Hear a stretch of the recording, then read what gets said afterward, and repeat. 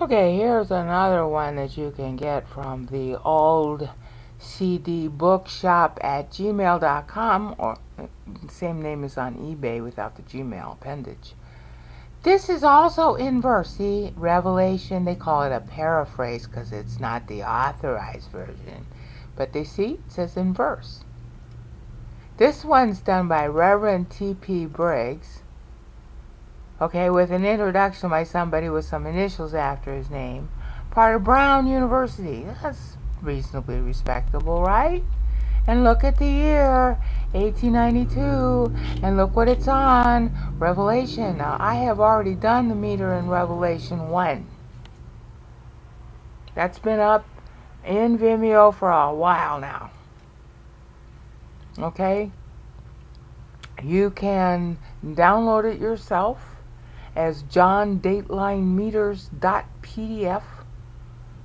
and see the Greek yourself for this.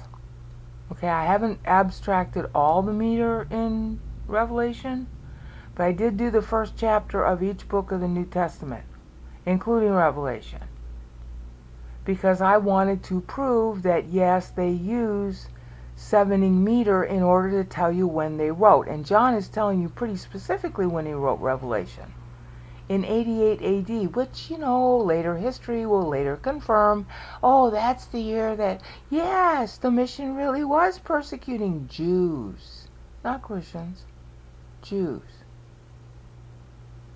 Even Jews in his own his own home household. Okay? And John is what? A Jew. So John is what?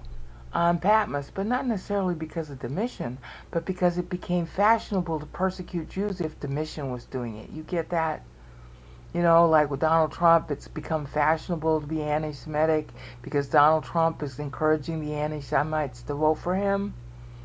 So now all kinds of Jews are getting death threats from anti Semites all over journalism land. Yeah, well, what do you think happened during the time of Domitian when he turned anti Semitic? That's why John's in Patmos. It's not 96 AD, it's 88. And he dates his own text. So I wanted to see, oh, wow, I just found this in this other piece, which is a list of New Testaments. And you can just ask for it Revelation Paraphrase PDF. The old CD bookshop will know which one it is, and they'll know what CD to give you. It's a, it's actually in the New Testament CD. Okay, I can't dislodge it now to tell you the actual title because I am using it to show you this on screen. But you'll see this in 1892, okay? So in 1892 it was still fashionable to count the actual words. This time we're looking at the Greek.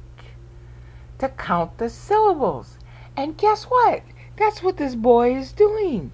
He's not counting, I don't agree with his counts, but I can tell that's what he's doing. See? Oh, yeah. Get, get past this too verbose introduction. Here we go. Revelation chapter 1.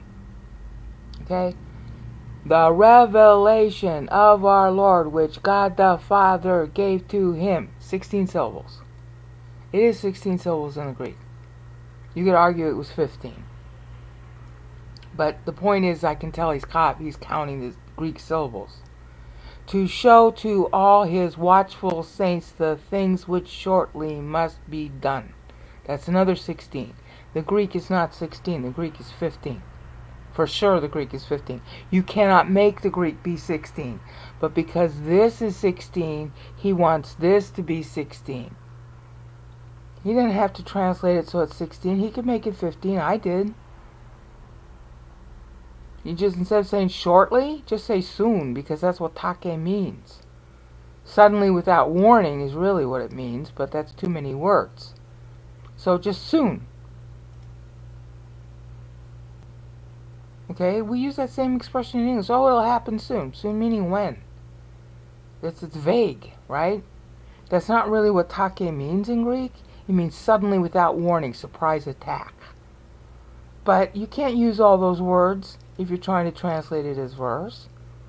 But if he had used soon instead of shortly, then he would have equaled the Greek syllables, but he didn't want to do that because this is 16, so he wants this to be 16. Okay, I'd argue that he could make this be 15 and therefore this be 15. But he didn't choose to do it that way. But notice, I know what he did. I know what syllables he counted, and he was counting the Greek syllables. Are you getting the point here? What Brainout has been saying, which nobody seems to know, was in fact commonly known. This guy's writing a book. You know, in those days, you wrote a book, you need to make money on it, and how many people are going to want to buy that book? Well, there has to be a market for it, doesn't there? Or the publisher isn't going to want to publish it.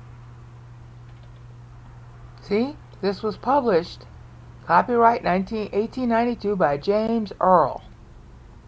Okay? And the publisher is James Earl. Well, he ain't going to stay in business very long if he doesn't have a market for his product. So what does that tell you? People wanted to see this. They wanted you to count the syllables in the Greek this time. And this is Revelation, which is a prophecy. It is not a poem. Okay? It's not a poem. And they have to call it a paraphrase because it's not the original authorized version in English, so they have to call it a paraphrase. But it's not really a paraphrase, it's a pretty literal translation because look, honey, I dare you not to notice. You go look at the Greek if you know how to read it. That's pretty pretty good. Pretty good literal translation. Shortly is not what I would use as the right word for reasons given. But this is pretty literal. Okay? It's not in quite the same order as the Greek words, but it's got the same syllable counts. That's about as much as you can hope for. So here, honey, see, it's not just brain out now.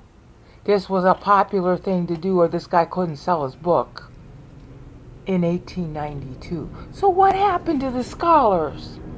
in the 20th century? Hmm? I think I've made my point clear. They do know this meter exists.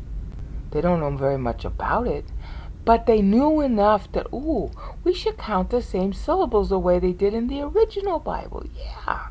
And they even wrote books that they published about it. So what I'm telling you is a recovery of lost information that is not like out there in the Tulis, okay? Here's your proof.